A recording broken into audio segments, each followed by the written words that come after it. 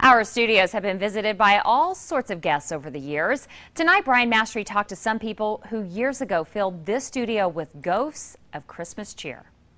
Yeah, I remember this. Not everyone looks back at their high school days with fondness. It's rare to have an hour of those formative years uncovered, though, decades later. It was just a really fun thing. Um, I do remember that and felt really privileged to be a part of it. The year 1965. Merry Christmas, Uncle. God save you. Bye. Humbug. The production, A Christmas Carol, the Charles Dickens classic. The actors, students at Creighton Prep. The actresses, from Duchesne Academy. And pay for the rest of my days. Ebenezer Scrooge, the bitter old miser, played by a 17 year old Joe Vacanti. Well, I just remember being scared out of my wits when I found out that I got the part of Scrooge. I am the ghost of Christmas present. What also added to any existing anxiety, this performance was recorded live inside our TV studio.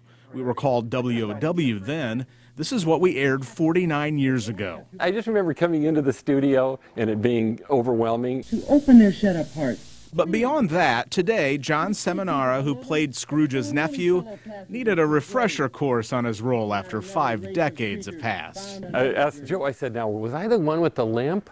No, he says, you were the nephew. I go, he didn't have a limp? I was the ghost of uh, Christmas Future.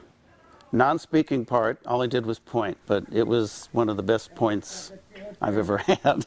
I fear you more than any specter I have seen. Even without a line, Frank Merwald credits his days in high school shaping him to become a Hollywood TV producer. It had a lot to do with me getting in the entertainment business. Time for balancing your books. As for the lead role, did he become an actor? What'd you end up doing for your life? An accountant. Accountant. I think Scrooge was, uh, that's what Scrooge was. An accountant.